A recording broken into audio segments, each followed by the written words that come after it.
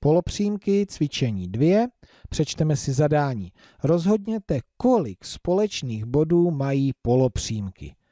Tak prohlížím polopřímka AB, polopřímka AC, tady jedna přímka, na které ty polopřímky leží, polopřímka A, počátek, běží přes bod B, polopřímka A běží přes bod C a C.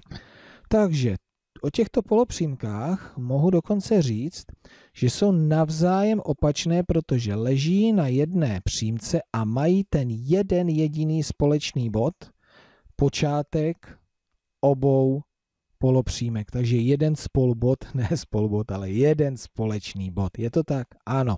Tyto polopřímky mají jeden společný bod. Polopřímky nám zůstaly, ale body se trošku přeházely, takže se musím podívat, kde leží ty hledané polopřímky. Polopřímka A, B, polopřímka C a běží směrem přes D.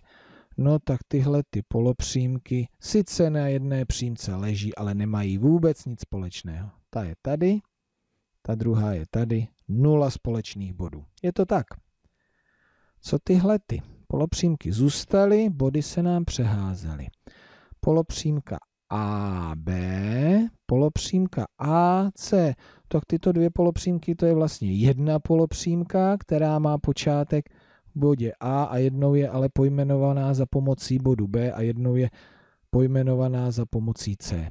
Takže tyto dvě polopřímky jsou vlastně ty samé, ta samá jedna polopřímka, tak ty mají ne více, ale vlastně nekonečně mnoho společných bodů.